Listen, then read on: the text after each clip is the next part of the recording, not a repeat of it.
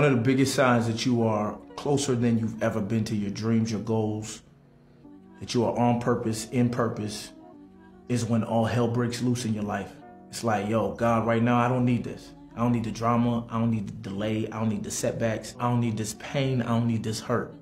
One thing I learned about God is that He allows failure to get you out of the familiar. You can only do the uncommon when you get into uncharted territory. And so he breaks you out of the comfort zone. Because it's a zone, right? You like it. It feels good. It pays you good. It, it, it, it loves you good. And sometimes God has to break you and reshape you so you can become what he desires you to be. You don't get to greatness by being comfortable. Discomfort is the language of growth. And what you're going through right now is growing pains.